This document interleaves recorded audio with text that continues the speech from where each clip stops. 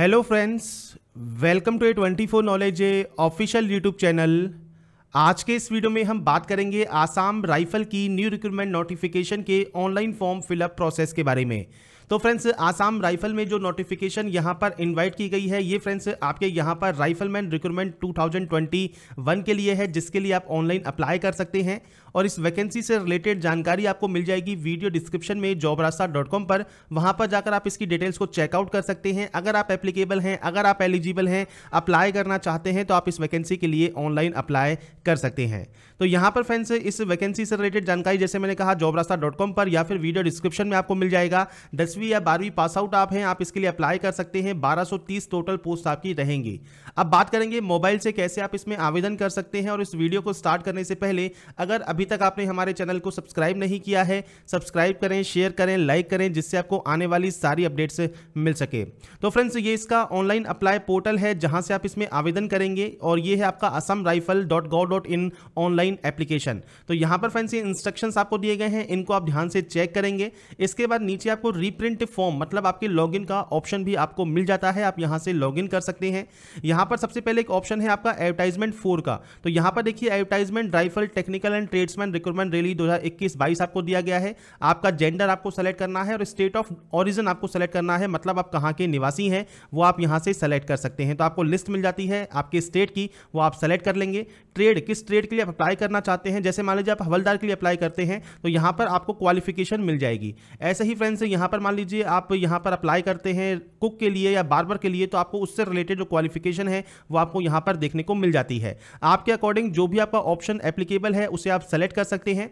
इसके बाद यहाँ पर एक ऑप्शन है आपकी कैटेगरी का तो general S C S T OBC EW S जो भी आपका कैटेगरी है, वो आप सेलेक्ट करेंगे। और ध्यान रखिएगा S C S T OBC EW S आपको सेलेक्ट करके अपलोड भी करना होगा।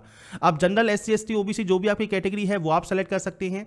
अगर आप यहाँ पर इकोनॉमिकल व्हीकल सेक्शन में आते हैं ईडब्ल्यू एस में तो आप यस करेंगे, नहीं तो आप इसमें नो करेंगे।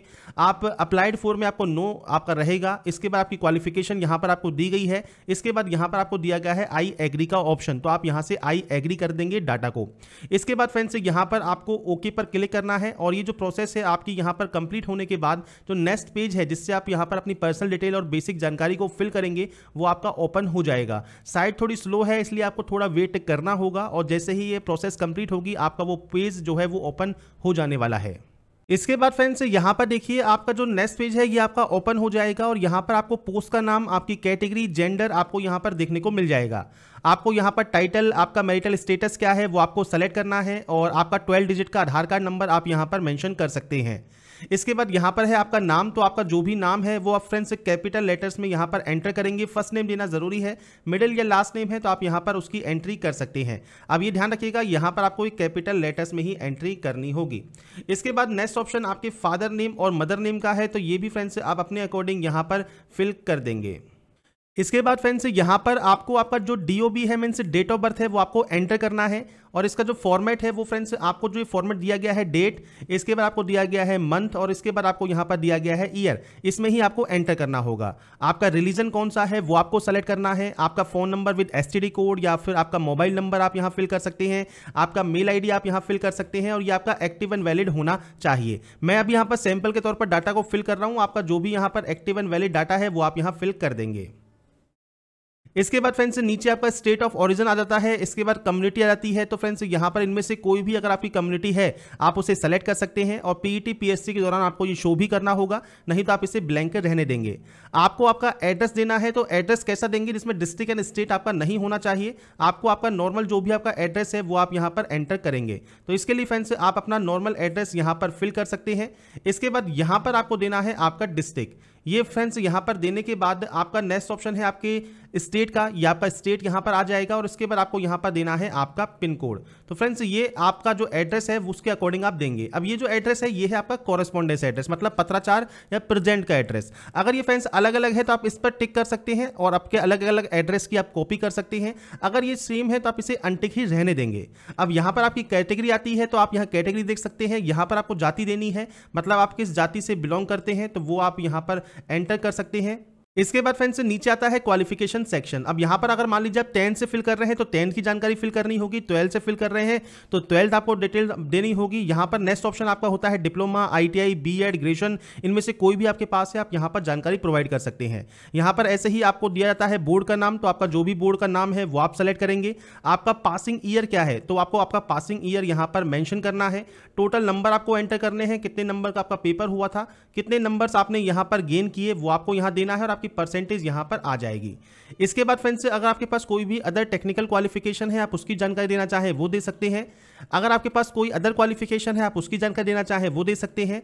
इसके बाद है सर्टिफिकेशन तो सर्टिफिकेशन या फिर एक्सपीरियंस फ्रॉम गवर्नमेंट या गवर्नमेंट रिकॉग्नाइज इंस्टीट्यूट या ऑर्गेनाइजेशन तो यहाँ पर देखिए आपसे कहा गया है टाइपिंग स्पीड आपकी पैंतीस वर्ड पर इंग्लिश में होनी चाहिए। अब यहाँ पर फ्रेंड्स आपने देखिए अगर कोई काम किया है तो आप यहाँ पर टाइपिंग स्पीड दे सकते हैं, या फिर आपने कोई भी, अगर आपने एक्सपीरियंस है तो आप उसकी जानकारी प्रोवाइड करना चाहें तो कर सकते हैं। मैं यहाँ पर इसको ज़ीरो छोड़ूँगा, जैसे आपका यहाँ ऑटोमेटिक ज़ीरो है। अगर ये माँगता है मैंडेटरी तो हम बताएँगे, नहीं तो आप यहाँ पर ज़ीरो ज़ीरो भी एंटर कर पाएँगे। इसके बाद आपका सर्टिफिकेट डॉक्यूमेंट मतलब आपका जो टाइपिंग स्पीड सर्टिफिकेट है, वो आपको यहाँ पर अपलोड करना होगा पचास से अस्सी के के साइज़ में। तो ये आपको अपलोड करना ज़रूरी है। इसके बाद अगर आपके पास एनसीसी का ए सर्टिफिकेट है तो वो आप अपलोड कर सकते हैं, नहीं तो आप नन रहने देंगे। आपका जो रिज़ल्ट है, वो आप ऑनलाइन अपलोड करवाना चाहते हैं तो आप यहाँ पर यस या नो कर सकते हैं, बाकी यहाँ पर टिक कर देंगे, कोई दिक्कत नहीं होगी। इसके बाद रिक्रूटमेंट टाइप आपका यहाँ पर है या डिपार्टमेंटल गवर्नमेंट है, आप इसको यहाँ पर ब्लैंक ही रहने देंगे। इसके बाद है डॉक्यूमेंट तो फोटोग्राफ एंड मार्कशीट डॉक्यूमेंट आपको अपलोड करना है तीस से पचास के मतलब फोटोग्राफ जेपीजी फॉर्मेट में आप अपलोड करेंगे तीस से पचास के में टेन का पास मार्कशीट आप अपलोड करेंगे तीस से पचास के में आईडी डॉक्यूमेंट आप कोई भी यहाँ सेलेक्ट कर सकते हैं domicile resident certificate PRC Aadhaar card voter ID driving licence कोई भी आप सेलेक्ट करें, उसको आप अपलोड करेंगे पचास से अस्सी के के साइज़ में। इसके अलावा आपके खिलाफ कोई भी क्रिमिनल केस है या नहीं है तो आप उसकी जानकारी टिक करके दे सकते हैं। इसके बाद प्लेस का नाम लिखेंगे मतलब कहाँ से आप इस फॉर्म को फिल कर रहे हैं, वो आपको जानकारी देनी है। इसके बाद आपको एक कैप्चा कोड जो दिया गया है कैप्चा कोड फिल करना है और उसके बाद यहाँ से सबमिट करना है। सबमिट करने से पहले फ्रेंड्स एक बार डाटा को वेरीफाई कर लें चेक कर लें, कोई भी गलती किसी भी स्टेप में है तो आप एडिट नहीं कर पाएँगे। ये चीज़ आप यहाँ ध्यान रखें डॉक्यूमेंट्स अपलोड करने के बाद ही आप यहाँ से सबमिट कर सकते हैं। इसके बाद फ्रेंड्स, यहाँ पर नेक्स्ट ऑप्शन आपका ओपन हो जाएगा। ये है आपके प्रिंट का और इसके अलावा यहाँ पर आपका ऑप्शन होगा पेमेंट का। तो आपको यहाँ पर देखिए प्रिंट एक्नोलेजमेंट का ऑप्शन मिल जाता है। तो आपकी जो आईडी नंबर है, उसको फ्रेंड्स आप अपने पास सेव करके ज़रूर रख लें। इसके बाद फ्रेंड्स यहाँ पर अब आपको पेमेंट करना है तो आप बैंक चलान के थ्रू पेमेंट कर सकते हैं, या फिर आप ऑनलाइन पेमेंट कर सकते हैं तो आप यहाँ पर जैसा भी पेमेंट करना चाहें, वो आप यहाँ कर पाएँगे। ऑनलाइन पेमेंट के लिए आपको यहाँ पर लिंक दिया गया है, और चलान पेमेंट के लिए आपको फ्रेंड्स यहाँ पर चलान की जो जानकारी है, वो आपको यहाँ पर प्रोवाइड करनी होगी। अब सबसे पहले click here for online payment पर आप क्लिक करेंगे अप्लाई करने के लिए फ़ीस को पे करने के लिए। यहाँ पर आपको इंस्ट्रक्शंस मिलेंगे तो आप आई हैव रीड पर क्लिक करेंगे, इसके बाद यहाँ से प्रोसीड करेंगे। इसके बाद फ्रेंड्स यहाँ पर आपको कैटेगरी सेलेक्ट करनी है तो आपको यहाँ पर एप्लीकेशन फ़ीस से ग्रुप सी सेलेक्ट कर सकते हैं। यहाँ पर फ्रेंड्स आपको नाम, आपका जो फादर नेम है, आपका जो डेट ऑफ़ बर्थ है, आपकी जो ट्रेड है, किस ट्रेड से आपने इसको अप्लाई किया है, उस ट्रेड को फ्रेंड्स आप यहाँ से सेलेक्ट करेंगे। आपकी कैटेगरी आपको यहाँ सेलेक्ट करनी होगी। इसके बाद फ्रेंड्स स्टेट सेलेक्ट करना होगा, किस स्टेट से आपने इस फॉर्म को फिल किया है, वो आप यहाँ पर फिल कर सकते हैं। इसके बाद फ्रेंड्स एप्लीकेशन फ़ीस आपकी आ जाती है। आपको यहाँ पर इस कैप्चा कोड को फिल करना है। इसके बाद दोबारा से नाम date of birth mobile number mail ID और इस कैप्चा कोड को फिल करने के बाद आप यहाँ से सबमिट कर सकते हैं। और उसके बाद फ्रेंड्स आप अपना जो पेमेंट है वो किसी भी बैंक के credit card debit card net banking से कंप्लीट कर सकते हैं। इसके बाद फ्रेंड्स यहाँ पर देखिए मल्टीपल ऑप्शंस आपके सामने आ जाते हैं। चाहे आप नेट बैंकिंग यूज़र हैं, चाहे आप क्रेडिट कार्ड या डेबिट कार्ड यूज़र हैं, आप यहाँ से अपने पेमेंट को कंफर्म कर सकते हैं। यूपीआई का ऑप्शन है बैंक ब्रांच का ऑप्शन है। आप यहाँ से जैसे भी पेमेंट करना चाहें, वो आप कर सकते हैं वेरीफाई कर सकते हैं।